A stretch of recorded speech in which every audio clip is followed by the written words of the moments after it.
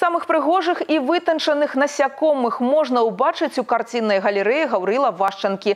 Там адкрылася выстава жывых экзатычных матылькоў. Для крылатых прыгажунь неабходны спецыяльны клімат. У памяшканні падтрымліваецца тэмпература ў 25 градусаў і вільготнасць паветра 80%. Сапраўдны трапічны рай. Жыццё матылька недаўгавечнае, ад некалькіх гадзін да пары тыдняў. Таму экспазіцыя пастаянна абнаўляецца. Насякомых прывозяць у гомель з фермы, якая знаходзіцца ў рассіі.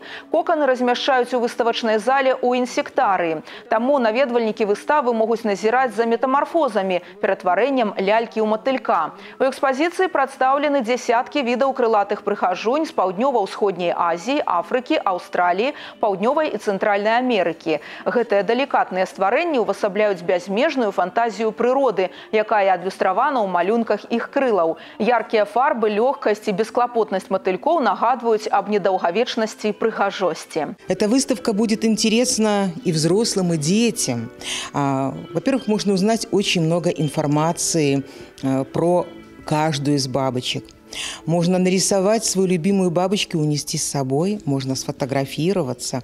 Детям можно посмотреть уникальный фильм о происхождении бабочки, о породах бабочки, какие они есть. Ну и, конечно, потрясающая релаксация для каждого человека. Апынуцца ў тропіках і палюбавацца лятаючымі кветкамі можна да 3 сакавіка.